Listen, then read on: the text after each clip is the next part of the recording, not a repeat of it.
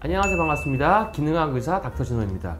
피부 건조하신 분들 굉장히 많죠. 제가 진료하다 보면은 피부 그 환부 같은 데 만지다 보면은 굉장히 건조해요. 물기도 없고 막 꺼끌꺼끌하고 막 그럽니다. 그래서 이게 고민이라고 하신 분들 되게 많아요 그리고 뭐 심해서 눈도 건조하다 그러고 이런 부분에 대해서 자가로 치료할 수 있는 방법을 좀 알려드릴게요 뭐 물론 심하면 병원도 와야 되지만 일단은 채식하시는 분들이 피부 건조증이 많아요 왜 그러냐면은 철 결핍성 빈혈이 많거든요. 그러니까 철분은 우리가 채식에서 먹는 거랑 육식에서 먹는 거랑 흡수율이 3배 차이가 나거든요.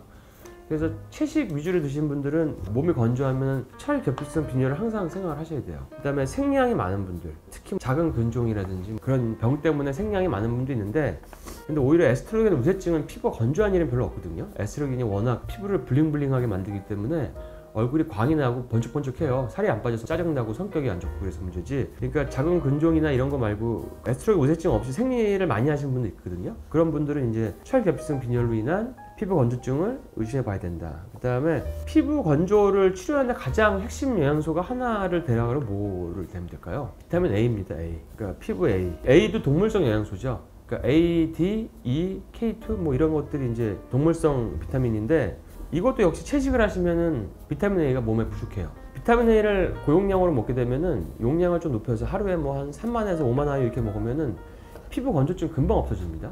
닭살도 없어져요. 그리고 여드름도 없어지고 피부에 막 거슬미 같은 거, 막 손톱 옆에 막 이렇게 나는 거, 눈 건조한 거 좋아지시는 분들 많고 모든 이제 몸의 분비가 잘 되죠. 그러니까 촉촉하게 해준다. 촉촉하게 해주는 게 비타민 A예요. 그러니까 기관지 점막도 촉촉하게, 피부도 촉촉하게, 눈도 촉촉하게, 모든 점막도 촉촉하게. 이게 비타민 A입니다. 자궁 경부암도 예방해요. 그러니까 대장암도 예방하고 후방암도 예방하는 효과가 있고. 그러니까 비타민 A를 근데 겁나 하시는 분들이 있는데 아기들이 먹는 대구 간유 있죠. 거기에 주성분이 비타민 A입니다.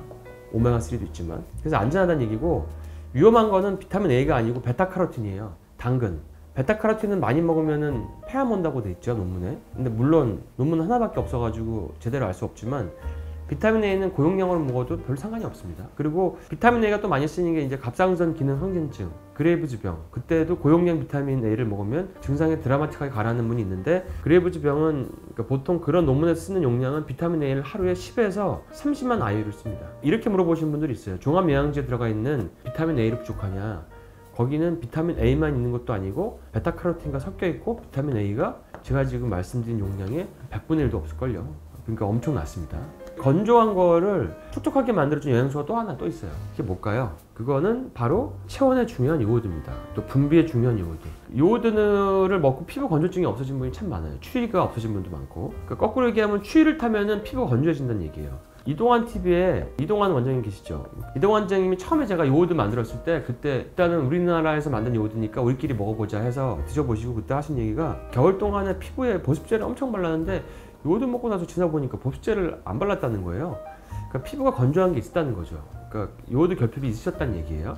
그러니까 요오드가 결핍이 돼서 체온이 떨어지면 피부가 건조해진다는 얘기죠. 그리고 요오드 결핍은 없는데도 체온이 낮은 분들, 갑상선 저하증이 있는 분들도 피부가 건조한 걸 느껴보았을 거예요. 그러니까 체온이 따뜻해지면 피부는 덜 건조해진다. 지방 섭취가 부족하면 피부가 건조해지거든요. 그러니까 지방은 뭐가 있을까요?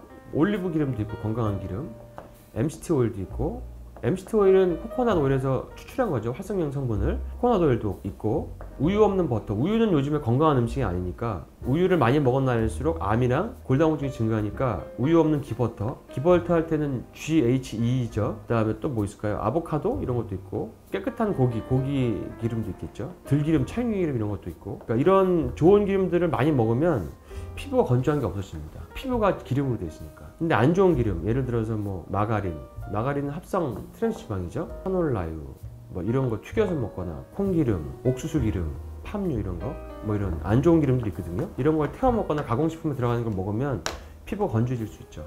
그냥 염증이 생기니까 후에 얘기하겠지만 좋은 지방을 먹으면 피부가 촉촉해지고 안 좋은 지방을 먹으면 피부가 염증이 생겨가지고 피부가 더 건조해집니다. 그런 병들도 있어요. 그러니까 피부 경피증 같은 자가 면역증이라든지 쪼그레는 증후군 이런 거는 피부라든지 눈이나 이런 데가 건조한 게 염증 때문에 그렇거든요. 근데 염증 때문에 건조한 거는 그 다른 원인들도 많기 때문에 말씀드린 걸 먼저 잘 해보시고 그래도 안 가라앉으면 병원에서 치료하시는 게 나을 것 같습니다. 뭐 염증을 일으킬 수 있는 요인들이 있으면 아토피도 오죠. 아토피 있으면 피부 건조하잖아요. 그러니까 염증을 일으킬 수 있는 식단이라든지 제가 지금 얘기해드린 영양소 이런 거를 드시는 게 좋죠. 그다음에 피부 건조증 없애는데 또 도움이 많이 되는 거는 MSM도 도움이 많이 됩니다. 항아미노산 해독하는데 중요한 아미노산인데 MSM은 이제 특이하게 이제 글루타치온이나 알파리포산 이런 거랑 달리 요거를 먹으면 피부에 염증들이 많이 가라앉고 그 피부 건조함이 많이 없어져요. 근데 이제 용량이 중요하죠. 최소 용량이 하루에 8g, 병이 좀 있는 사람 하루에 한 16g 정도 처방하고요. 암 환자분들은 제가 너무 많으니까 어떻게 얘기 못 하는데 3, 40g씩 드시는 분들도 꽤 계십니다. 그럴수록 항암 효과가 더 세지고요. 그러니까 보통 이런 건 계량해서 먹지 않죠. 저 같은 경우는 밥 숟갈로 해가지고 밥 숟갈 한 그릇이 15g이거든요. 반 숟갈이 한 7g 될 거니까 7g씩 하루에 아침 한 번, 점심 한 번, 두 번 이렇게 하면 한 15g 되겠죠. 그렇게 드시면 됩니다. 저희가 지금 한참 연구하고 제품 개발하고 있는 그 앞타민 C, 앞타민 C는 바르는 앞타민 C 그 아토 연고는 있으니까 그거는 발라보시면 알 거예요. 앞타민 C 자체가 피부 건조 염증 가라앉히는 효과 때문에 염증이 굉장히 잘 가라앉습니다. 우리가 그 임상해가지고 대학병원 임상, 뭐 약사 임상, 저 병원 임상 한 거 자료 있거든요. 그걸 제가 많이 쓰고 있는데 먹는 게 나오면은 엄청 기대가 돼요. 먹는 게 나오면은 발라가지고 치료할 수 없었던 어떤 자가 면역이나 전신 알러지, 천식, 뭐 비염, 뭐 아토피, 뭐 이런 것들. 뭐, 그 뭐 물론 그 외에도 다른 거 바이러스 질환이라든지 이런 것도 효과가 있지만 이런 알러지라든지 피부 건조증 치료하는데도 효과가 굉장히 많이 보일 걸로 보입니다. 그래서 오늘은 이 피부가 건조한 분들이 맨날 그 보습제 회사들만 좋아지게 보습제만 막 사서 바르시고 그러시거든요. 쓸데없는 시간을 쓰지 마시고 몸에서 피부를 구성하는 그 구성 요인들을 보충을 잘 하시고 결핍 없이 잘 건강하게 영양제로도 드시고 하셔서 피부 건조증을 일단 없애서 피부가 건조하면 빨리 늙잖아요. 노화도 빨리 오고 주름도 빨리 생기고 하니까 또 병도 잘 생기고 염증도 잘 오고 이런 거 없이 건강한 피부 여러분들 갖기를 바랍니다. 다음 시간에 또 뵐게요.